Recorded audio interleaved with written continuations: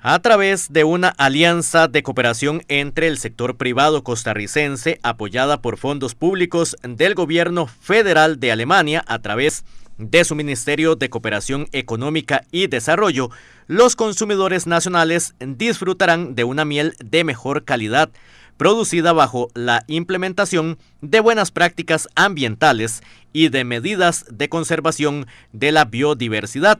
Como sabemos, nuestro país y la humanidad como un todo enfrenta importantes desafíos en temas como el cambio climático, la seguridad alimentaria, la disparidad económica y otros. Los esfuerzos dirigidos a fortalecer la apicultura aportan de manera importante en la solución de estos desafíos.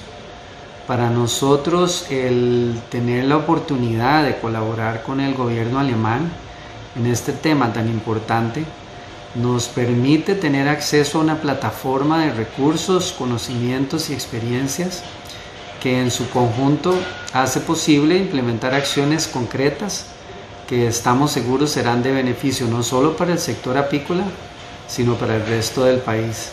Este proyecto incluye a apicultores de todo el país, entre ellos aparecen hombres y mujeres de Pérez Celedón, que gozarán de programas de entrenamiento para la aplicación de acciones a favor del medio ambiente durante el proceso de producción.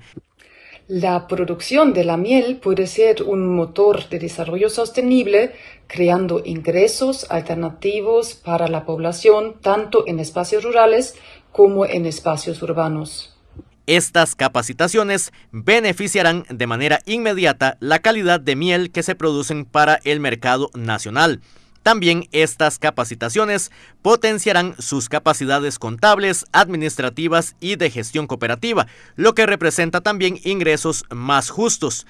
Esta alianza arrancó sus acciones a final de la semana anterior.